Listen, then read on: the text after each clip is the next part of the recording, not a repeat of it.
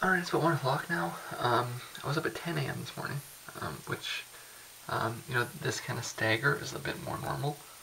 Um, kind, of, jumping back and forth like that. Um, so yeah, I was up at 1 today. Sorry, up at 10 today. It's now 1, and I'm just going into the room to troubleshoot. Um, that's really all I plan on doing today. So um, it's not going to be much of a vlog. No food vlog today because I just had leftovers. I'm sure you saw the size of that uh, plate of spaghetti. I didn't quite get through all of it. Um, in fact, I only got through maybe about three quarters of it. So um, what was left was more or less enough for a small meal today. I might eat again later, but um, we'll find out. I probably won't. I'll probably just wait till tomorrow. So actually, um, it's about 7 o'clock right now. Um, I actually spent um, a good part of the afternoon sleeping. I, I, was going to take the final step in not smoking um, this week, um, but I, I really want to fix this. I want to be focused on it. Um, I, I, whenever I try to quit smoking, I get really tired for a long period. So my, my kind of plan for months has been finish this record first, um, and, and, then after that I have um, a lot of um, file um, keeping to do, um, and I, I, should be able to you know get everything I want done um, over that period while I'm quitting smoking. right now, I don't think I'll be able to focus enough on this, so I'm back to smoking for a little bit. when I reopened this up, I noticed that the drivers were kaput. it's um, an issue I've been dealing with for a little while where it sounds like it's through a limiter. I'm not getting the highs, um, and it's the same issue. It's through the mixer. It's through um, through the amp. Um, it's the the stability I had in the signal has gone. The best guess I can think of as to what caused that was that there was a power outage. Um, the mixer was off during the power outage, but um, maybe something didn't shut down right, or when it rebooted, it came up wrong. So um, I've removed the drivers um, through the device manager, which was the Alesis drivers um, as well as the M Audio drivers, um, and I've um, also uninstalled the FireWire um, device itself. I, have noticed that that seems to make a big difference um, is reinstalling the FireWire drivers. and I'm going to reboot this and see what happens. Yeah, so unfortunately when this came up, it, it it, it, it, didn't do what it was supposed to do. Um, it, it, it, swung back to the issue I was having previously with the drivers, which is that um, it would be right for about a split second, and then there would be this like click that would come in, and when the click came in, I started getting all kinds of weird sounds. Right, so as soon as I turn it on and I press play, it's fine, and then like you can hear it click, and I, I don't know exactly what it's doing. I think it's something to do with the Windows drivers. Um, and I'm pretty sure I had isolated it to um, a specific um, driver. It's mskssrv.sys. Um, there was a difference in order um, in how um, it had come up. initially, I had installed the sound card drivers first, and then installed the mskssrv afterwards, and it sounded good from there. So what I'm trying to do now, I've got to set up to turn on when I hit the spacebar. Um, um, now what I'm trying to do, um, well, I, have uninstalled the MSK SSRV um, and the drivers, um, and now I'm going to install the drivers without the MSK SSRV. Um, it should sound pretty good from there at least. I should at least be getting the basic sound right. and then when I reinstall the MSK SSRV, that should be the um, extra little bit that makes it sound proper again. But basically, I'm back to square one here. Um, this is to come up.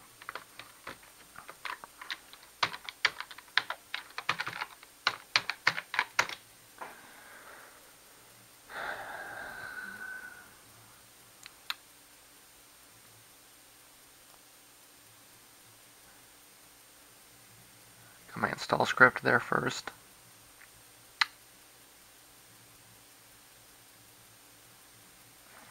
this is really just, uh, well, sorry, not, that wasn't an install script, sorry, that was a startup script. Um, the first one just deletes a bunch of temp files, and the second one um, is actually a backup, um, so that when I'm reinstalling, I've got um, all my settings that I want.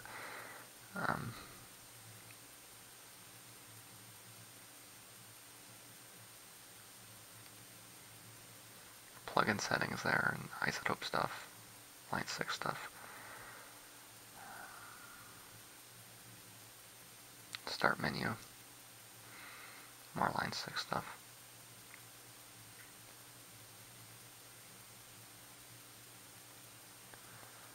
Guitar rig stuff. Okay, so I'm going to reinstall this driver.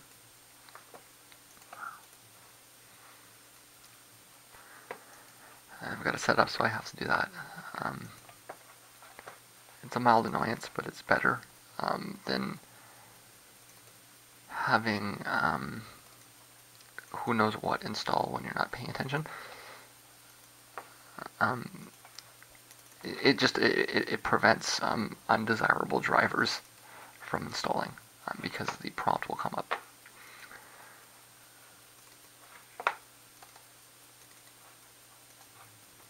I should point out that I'm not connected to the internet either, um, because I have a kind of a schizophrenic fantasy that somebody might be um, messing with me. Although if they're messing with me, they've been messing with me for a long time. Um, uh, the more rational perspective on that is that um, because the FireWire is a network device, um, it may be um, in some way connected um, to the network card. Um, it, it, might be screwing something up, so I've just got the network card disconnected altogether. Um, there.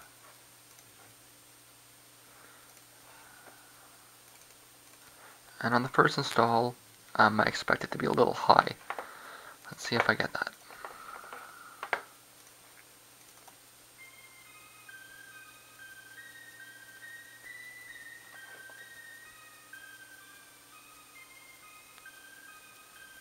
Sounds better.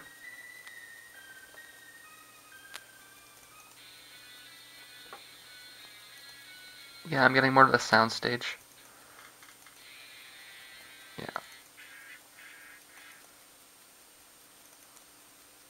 Okay. So this seems to at least um, have resolved the click issue, I think.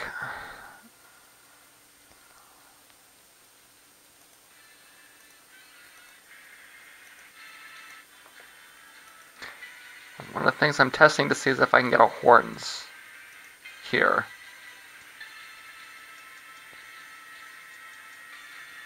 Yeah, the, I'm getting the right sound anyway. Anyways. Um, okay, so that's better than it was with the clock. So I've just confirmed what I already knew, which is that um, on my install script, um, I, I've got it set up so that um, it deletes the MSKSSRV as a part of the install. I don't exactly remember exactly why um, I did that. I think I thought it was actually a Windows Media um, file. Um, I, I, have huge install scripts that delete massive amounts of things. Um,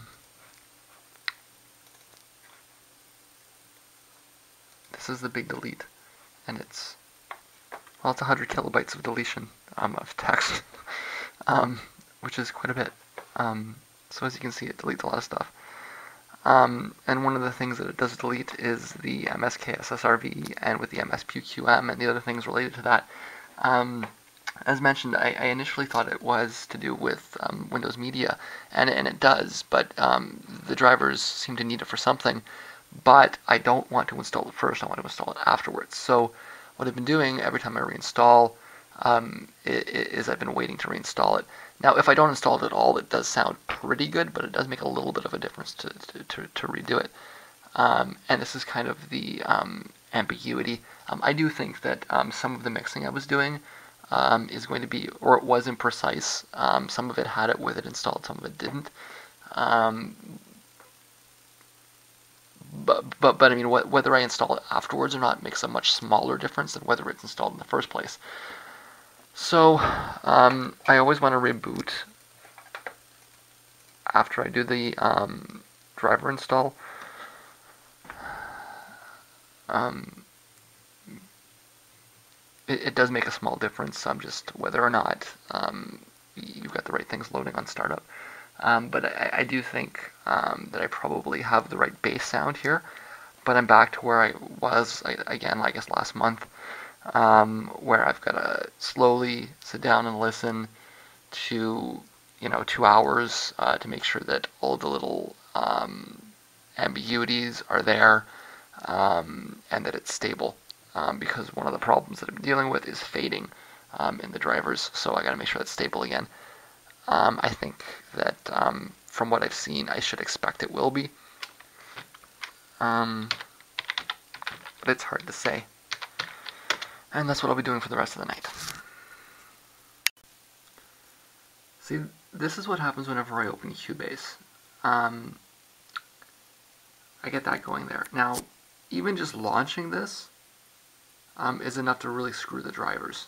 Um, this this thing here. Um, so what I did last time that seemed to kind of work was that um, I opened Cubase connected to the M audio card. So I've got my mixer off.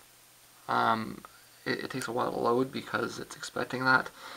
Um, and then what I do is I launch that, um, and then I disable the um, plugin um, from within Cubase, and then I reinstall it afterwards. Um, so that it, it launches, but it's connect, it seems to be mostly connected to this. I'm actually still not sure if what happened was um, related to the power out, or if it was just the result of, of rebooting enough times that um, it got reconnected. So um, I'm, I'm going to repeat what I did before, um, but I'm going to re- I'm going to reboot um, several times to see um, if I get that you know clicking and fading again, or if, if it kind of stays stable. if it does, I'm actually going to jump right to Cubase um, and see if I can get it stable there uh, because I've already tested this. Um, I, I, seem to be at the same spot I was at before, um, indicating that um, at, it, it does seem to have been an issue with this um, with this thing. But but what I'm not sure is if it's an order issue or if it's the thing itself. if it's the thing itself, then I'm going to want to actually just disable it, which is what I intended to do in the first place um, but what I haven't done. Um, I know that um, if I just leave it like this, um, it, it will screw the drivers. so um, I, I, need to actually install it um, or disable it. one or the two. I can't. I can't just leave it like that. I'll know in a few minutes. Okay, I think I might have found a, a, a point of failure. for years, I have had like like honestly, for years since before I even moved in here, um, I've had that mixer connected to the Tape 1 monitor. Um, and and it's, I mean, the levels were fine. Um, if I plugged, if I took it out of the phones and put it in there and then put it back, I wouldn't have been able to tell the difference really.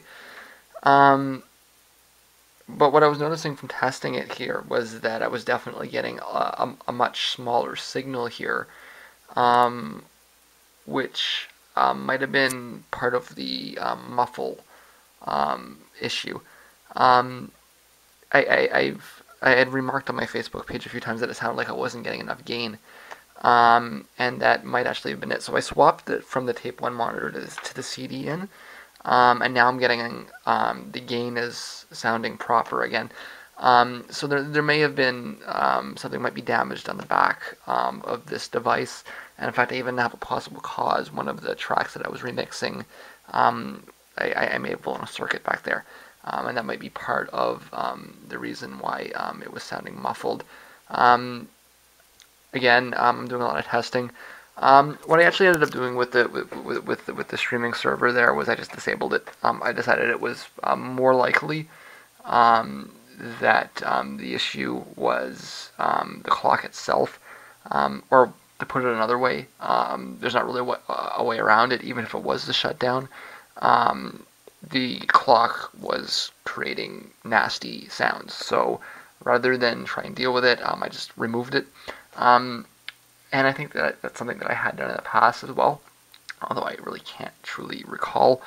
Um, so um, that's gone, um, and it does sound pretty good right now. I'm not completely convinced, but I think that this is probably pretty close. Um, testing the rest of the night, but um, and and it's going to be a late night, um, probably until four or five in the morning. Um, because I'm feeling that kind of manic excitement. Um, I've been dealing with this for so long, um, and it's been so depressing, and it's kept me down. Um, now that I think that I'm pretty confident that I've got a good signal and I'm pretty close to fixing it, um, all of a sudden I'm really excited. So um, I could be up until noon actually even. Um, that's how I tend to work. Um, but um, if if it's good and it's sounding good, um, that's what I'm doing, and I should hopefully, if I'm lucky, if everything's working out, I'll be able to finally get back to mixing within the next few days. yeah. Nope, unfortunately that was a disaster. Um, disabling the server there brought me back to the same issue I was dealing with previously, which was that the only way I can get it to sound right is to take this treble and crank it. Um, although I'm actually not sure if it's that the treble is cutting or if it's that the bass is overloading. They, they kind of the same result one way or the other.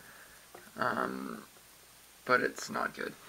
Um, worse, by disabling it, um, I had a hard time finding it back.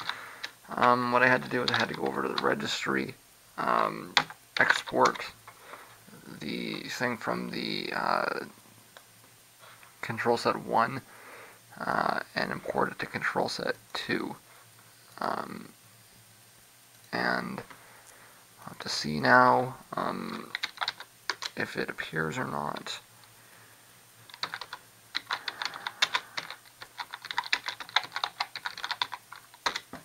It does. Okay, so at least it's there. Um, let's see what happens if I launch Cubase.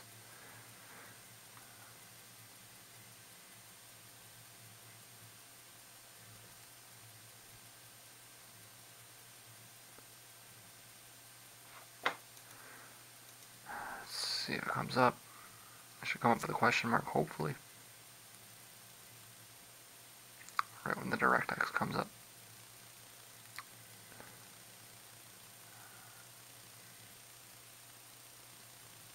No, it didn't. And that is surprising to me. Okay. It's at least running. Um,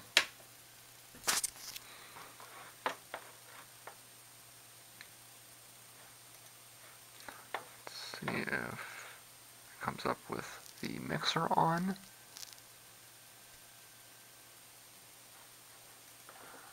So going to have to change the uh, part there first. It doesn't look like it's coming up. I think that if I reinstall the drivers, it will. Um, I'm just switching it to the Alesis ASIO. Try one more time here.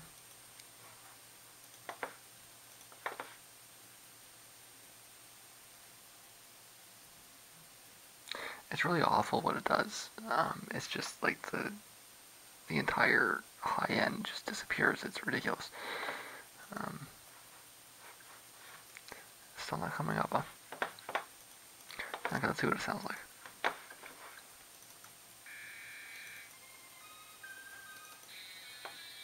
Yeah. There's no high end at all.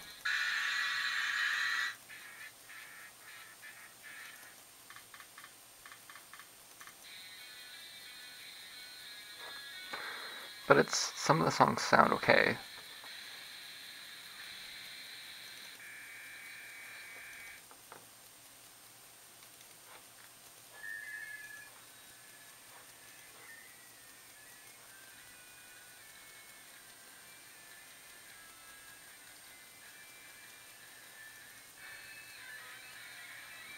Actually sounds okay.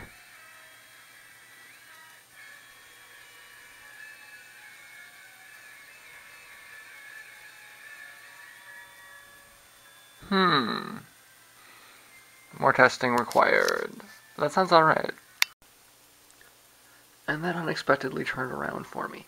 Um, after a couple of reboots, um, I've got all of my tonal um, uh, uh, triggers um, in place. Um, I think there's some um, space for um, optimism actually here. Um, I mean, gonna need to do some listening. Um, I kind of expect it's probably gonna start fading again, um, but we'll see. Um, at, at, the very least, um, it, it is pretty clear what I determined this evening is that I need to have that streaming proxy not disabled. It, it, could be not installed or it could be installed, but it, it, it can't be disabled. Um, as soon as I disable it, um, it, falls apart. Um, I, I, I, if the, if this doesn't hold up, I'm gonna have to reinstall, um, be, be, because I'm not. Um, it, doesn't look like I'm gonna be able to get back to the uh, starting point I was at. Um, so I hope this works.